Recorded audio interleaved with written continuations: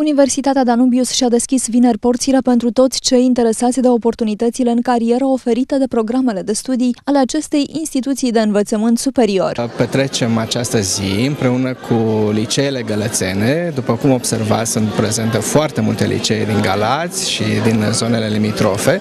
Suntem alături de prietenii noștri și bunii colaboratori din America și din alte țări pe care i-am invitat pentru a vorbi despre sistemele lor de educație, astfel încât să putem oferi elevilor gălățeni și nu numai lor oportunitatea de angajare, nu numai în România, în America și în alte țări europene sau uh, din, uh, de pe alte continente. Manifestările au început cu ziua carierei, o dezbatere cu tema acces la învățământul superior din SUA, susținută de profesorul Steve Michael de la Universitatea Charles Drew din Statele Unite, care a venit la Galați însoțit de fica sa. I have been to Danubius University several times times actually. I've been to Galati many, many times.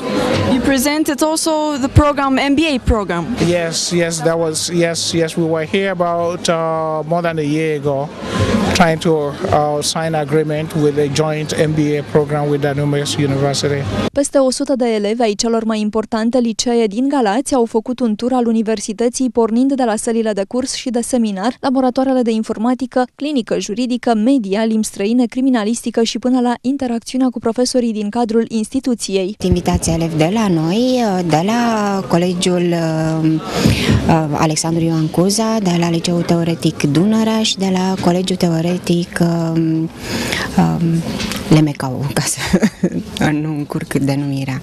Sunt uh, în jur de 100-120 de elevi invitați de către noi, la care s-au alăturat și studenții Universității Danubius. Ziua s-a încheiat cu un meci de fotbal între studenți și profesori și cu o tombolă la care au participat elevii, premiul fiind o tabletă.